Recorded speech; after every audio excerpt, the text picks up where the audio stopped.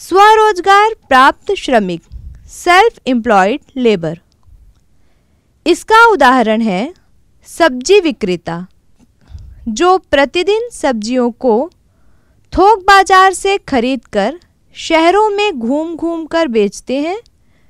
वे किसी नियोक्ता के कर्मचारी न होकर स्वरोजगार में नियोजित हैं। सब्जियों के विक्रय से हुए मुनाफे से उनकी आवश्यकताओं की पूर्ति होती है। सब्ज़ी के धंधे में उनकी आय सुनिश्चित नहीं है। वे कार्य करने के लिए सुरक्षा की परिधि जैसे दुर्घटना बीमा, भविष्य निधि आदि कई लाभों से वंचित रहते हैं। अकुशल श्रम, अनस्किल्ड लेबर। शहरों के चावड़ी बाजारों में छोटे छोटे काम जैसे मजदूरी, पुताई, मरम्मत आदि काम करने वाले लोग अकुशल श्रमिकों की श्रेणी में आते हैं। इनमें अधिकांश ग्रामीण पृष्ठभूमि से आते हैं। इनके भी रोज़गार के अवसर सुनिश्चित नहीं होते। इसकी वजह से इनकी आय भी अनिश्चित रहती है। हमारे प्रदेश में इनकी संख्या अधिक है। अपने शहर में किसी पड़ाव, जहाँ मजदूर काम की तलाश में जमा होते हैं, पर जाकर अकुशल श्रमिकों से बातें कर पता करें। कुशल श्रम स्किल्ड लेबर कुशल श्रम में विशेष तरह की व्यावसायिक योग्यता प्राप्त व्यक्ति, जैसे वकील, डॉक्टर, अध्यापक, इंजीनियर तकनीकी योग्यता संपन्न व्यवसायी आदि सम्मिलित होते हैं। संगठित क्षेत्र में कार्यरत कर्मचारियों को व्यवस्थित कार्य परिसर एवं अन्य सुविधाएँ प्राप्त होती हैं। उनकी सहायता के लिए अन्य सहायक भी उपलब्ध होते हैं। अब हम एक कुशल श्रमिक की कल्पना करें, जो किसी बड़े कारखाने में चार्टर्ड अकाउंटेंट है। उसे कारखाने में एक कार्यालय और सहायता के लिए अधीनस्थ कर्मचारी प्राप्त हैं। वे प्रत्येक महीने एक सुनिश्चित वेतन और अन्य लाभ प्राप्त करते हैं।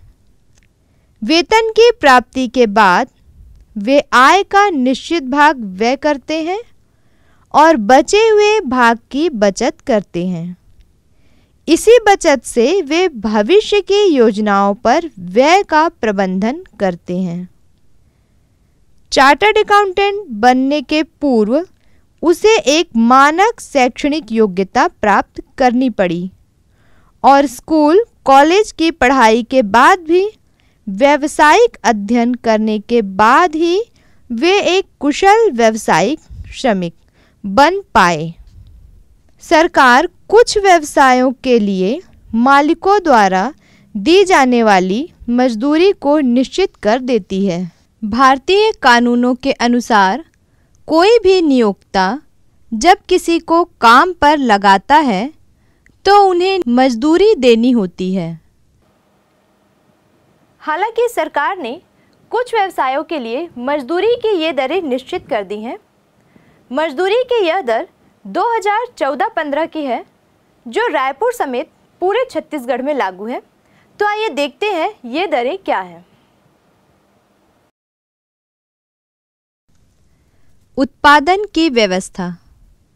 जैसा कि प्रारंभ में कहा गया है कि उत्पादन की प्रक्रिया के लिए चार कारकों की आवश्यकता है। अभी तक हमने भूमि और श्रम की बात की है। हमने कई उदाहरणों से समझने की कोशिश की है कि इसकी व्यवस्था कैसे की जाती है। उत्पादन के लिए भूमि और प्राकृतिक संसाधनों जैसे पानी, खनिज आदि की पहली आवश्यकता होती है। दूसरी आवश्यकता श्रमिकों या कामगारों की होती है। ये वे लोग हैं जो श्रम करते हैं।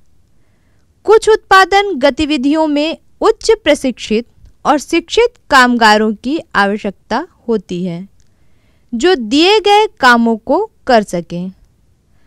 अन्य गतिविधियों में उन कामगारों की आवश्यकता होती है, जो हाथों से काम कर सकें।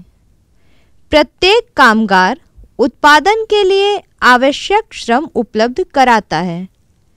यहाँ श्रम से आशय केवल हाथों से किए जाने वाले श्रम से नहीं है।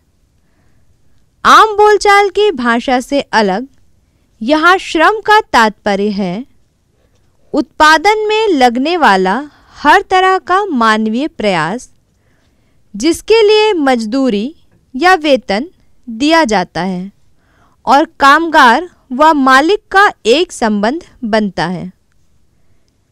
ऊपर हम दो साधनों कारकों भूमि और श्रम की चर्चा कर चुके हैं।